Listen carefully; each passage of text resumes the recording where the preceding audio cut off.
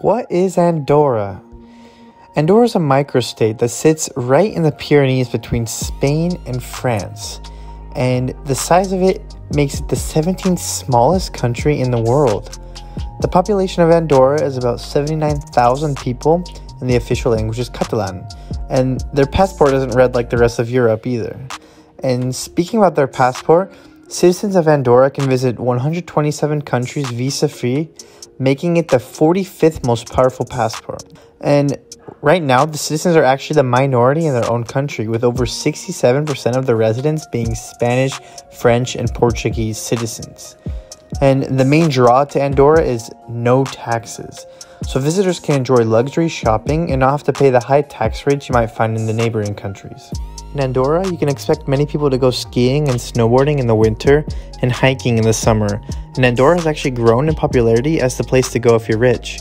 And many Spanish celebrities and YouTubers have actually moved to Andorra to enjoy the benefits of not paying taxes. And while this has become controversial as many people don't agree with the idea of leaving your country to avoid paying taxes, I don't want to get into it. I want you to tell me what you think in the comments. And Andorra doesn't have an international airport either, so visitors have to drive into the country either from Spain or France.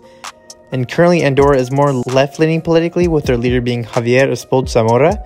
And fun fact Emmanuel Macron is one of the co princes of Andorra.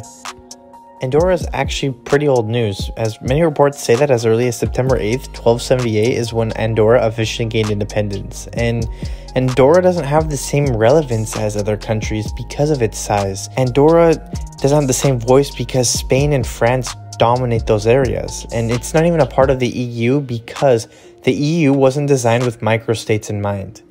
And I actually visited Andorra in December 2022, and one thing that stood out to me was that people are used to being nearly invisible. I was talking to a guy, and he told me that his family traveled to Morocco to see his grandma, and on the way back home, they were detained because the government didn't think their country actually existed. And that was about 20, 30 years ago. But even many Spanish and French people that I've talked to today, they've never even heard of Andorra, which blew my mind as well. Overall, Andorra is an amazing country. Its size is small, but it has a lot of history, and it's just another part of Europe that's amazing to go see. And I recommend everyone who gets the chance to go visit it and see for yourself what you think of this place.